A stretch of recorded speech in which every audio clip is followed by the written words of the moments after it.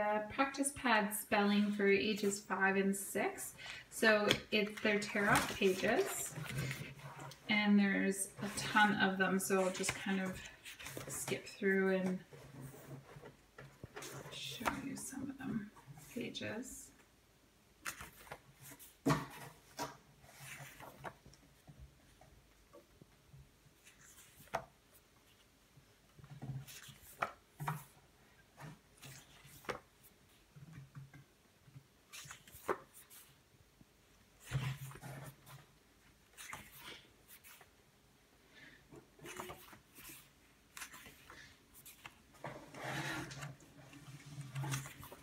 And then at the end, there's the word lists of everything that you use, um, answers, and then there's uh, spelling practice tips as well.